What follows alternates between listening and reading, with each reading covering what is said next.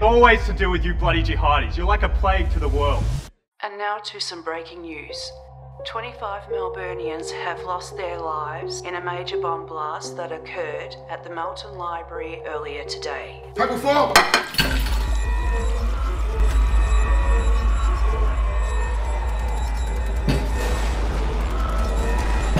I was in Timor and Afghanistan. There a grenade? Yes. He was a solidly built chap. He could have had a bomb in his bag. Where's Mustafa? How should I know? Where are you from? I'm from Syria. You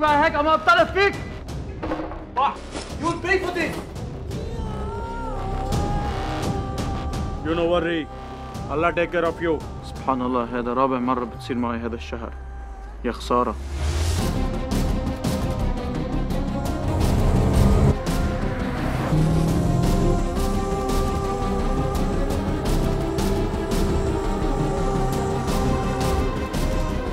Something terrible's going to happen here at 9 o'clock if we don't do something.